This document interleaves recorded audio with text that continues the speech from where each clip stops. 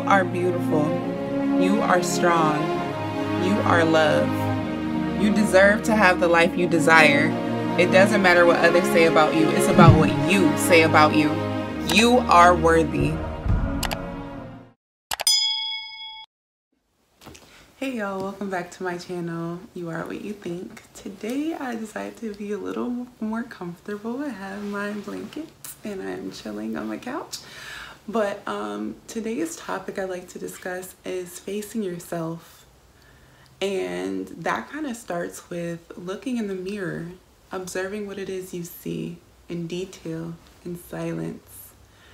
And I feel like this is a task that may be difficult for some because not everyone's able to truly face themselves, the person that they've become and or are at this day and time. But you have to be able to face yourself because the irony is people expect other people to face them, but they can't truly stand their own reflection.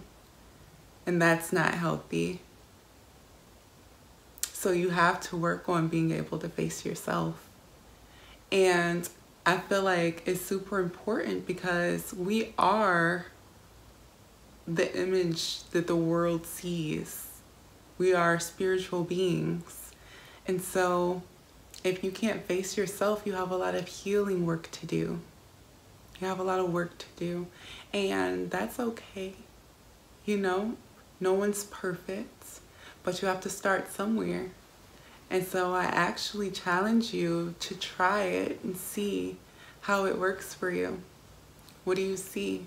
Are you embracing your features, your differences, the different quirks that you may have that are different from others, that make you stand out?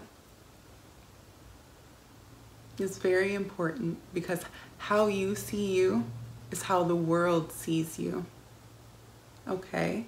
And so I feel like as people, we don't understand that we actually carry the image of how we see ourselves on us and that kind of that our energy our auric field gets onto other people or they can feel that and they treat us accordingly. How we carry ourselves people treat us accordingly. And so if you aren't being treated how you like to be treated, then you might want to change the way you carry yourself. You may want to start changing the way you think about yourself, change the way you may feel. Everything is energy. Everything. And you want to be treated the way you want to be treated with respect, kindness, I'm going to leave that with you and go into how we are our own competition. I know a lot of people are like, well, I'm at I'm in competition with this person or I'm at work and I have I'm up in competition with this other um, coworker of mine realize that you are your own competition whether it's at work at home, in business, and in life. You control your destiny and you control the outcome of what happens. So I feel like understanding that allows you to always work on self-improvement. There's always room for improvement in our lives, different areas of our lives. So stop looking outside, guys. Stop looking outwards for acceptance, for the okay to be amazing, to go the extra mile. When we work on ourselves, you know, and work on just improving ourselves every day, we just become that much better.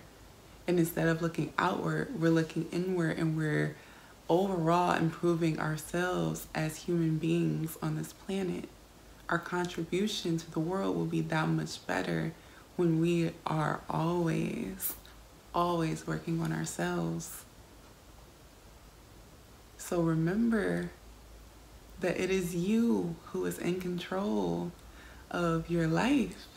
You are your own competition. You have to be able to face yourself because you have to be able to love yourself entirely, every aspect of who you are. And if you don't love yourself right now, that is okay. You are not alone. But you do have to start taking the steps so that you will be able to truly love yourself and all that you see in the mirror. Remember, you create your own destiny. Peace and love. Until next time, live well.